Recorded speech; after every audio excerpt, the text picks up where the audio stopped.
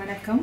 இன்னைக்கு கீதாவின் சமையல் அறையில் விநாயகர் சதுர்த்தி செலிப்ரேஷன் எல்லோருக்கும் என்னுடைய விநாயகர் சதுர்த்தி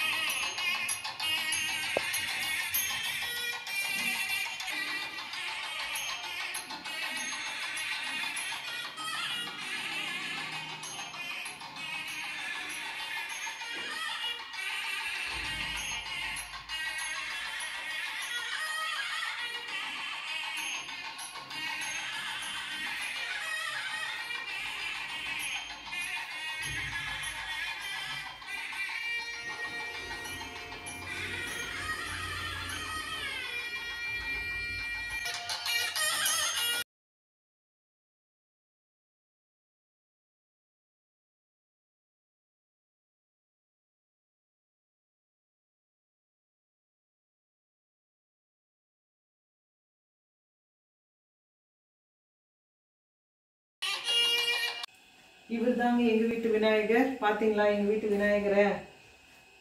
எப்பயுமே மண் மண்பிள்ளையார் மண் பிள்ளையார் தான் வாங்குறது நாங்கள் அதை வந்து காலையில் தான் போய் வாங்கிட்டு வருவோம். வாங்கிட்டு வந்து அதை ஆரத்தி எல்லாம் எடுத்து தீபாரதனெல்லாம் காட்டி கொண்டு வருவோம் வீட்டுக்குள்ளே மணி அடிச்சுட்டு. வந்து அந்த இடத்துல நான் ஃபஸ்ட்டு ரெடி பண்ணி வச்சுருந்தோம் அந்த இடத்துல நாங்கள் உட்கார வச்சுருவோம். ஒரு நல்ல நேரம் பார்த்து. அதுக்கப்புறம் தான் இந்த அலங்காரம் படையல் போடுறது அபிஷேகம் பண்ணுறது விநாயகருக்கு பீடத்தில் இருக்கு பாருங்கள் அதுக்கு அபிஷேகம்லாம் பண்ணி அதுக்கான புது துணியெல்லாம் போட்டு இன்றைக்கி வைப்போம். இன்றைக்கி விநாயகர் விநாயகர் ஜென் மாற்றுவேன் நான். அதுக்கப்புறம் இந்த பலகாரம்லாம் பண்ணி வச்சுருக்கேன். சாயங்காலம் என்ன பண்ணுவேன்? ஆரத்தி எடுத்து அதை வந்து மொட்டை மாடியில் போய் எங்கள் பக்கெட்டில் தண்ணி ஊற்றி அதில் வச்சுடுவோம். அதுக்கப்புறம் அவராக கரைஞ்சதுக்கப்புறம் அந்த மண்ணெல்லாம் எடுத்துகிட்டு போய் எல்லா செடியிலையும் நாங்கள் போட்டுடுவோம். எக்கோ ஃப்ரெண்ட்லியாக இருக்கலான்ட்டு. நீங்களும் அதே மாதிரி செய் செய்யணும்னு நான் கேட்டுக்கிறேன். மாப்பழம் வாழை அப்புறம் அவகடோ ஆரஞ்சு ஆப்பிள் மா மாதுளை விளாம்பழம் திராட்சை பைனாப்பிள் கரும்பு இதெல்லாம் வச்சு பூஜை பண்ணோம். அதுக்கப்புறம் பலகாரங்களும் இன்றைக்கி எல்லாம் செஞ்சுருக்கோம். இட்லி தோசை அவரைக்காய் பொரியல் வாழைக்காய் பொரியல் முருங்காய் கத்திரிக்காய் சாம்பார் வடை சாதம் வச்சு நடுவில் பருப்பு வச்சுருக்கோம். தேங்காய் பைத்தம்பருப்பு வெல்லம் போட்டு பாயாசம் அப்புறம் பொரி வச்சுருக்கேன் ஒரு கப்பில் கடலைப்பருப்பு வடை அப்புறம் கொழுக்கட்டை தேங்காய் பூரணம் வச்சு ஒரு கொழுக்கட்டை ஒரு மோதகம் மாதிரி. அப்புறம் உளுந்து அந்த மாவுலேயே வந்து இன்னொரு கொழுக்கட்டை இதையும் வச்சுருக்கேன். எள்ளு பூரணம் வச்சுருக்கேன் தேங்காய் பூரணம் வச்சுருக்கேன். எள்ளு உருண்டை அதில் வந்து எள்ளு போட்டு தேங்காய் பொட்டுக்கடலை வேர்க்கடலை மூணுமே போட்டு கருப்பு எள்ளில் பண்ணியிருக்கிறது.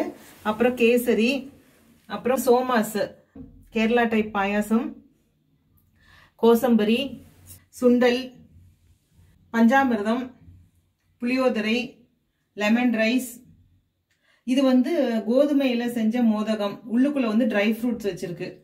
அதுக்கப்புறம் கருப்பு எள் உருண்டை வெள்ளை எருள்- உருண்டை தயிர் சாதம் தேங்காய் உடச்சி நெய்வேத்தியம் பண்ணியிருக்கோம்ப்பா.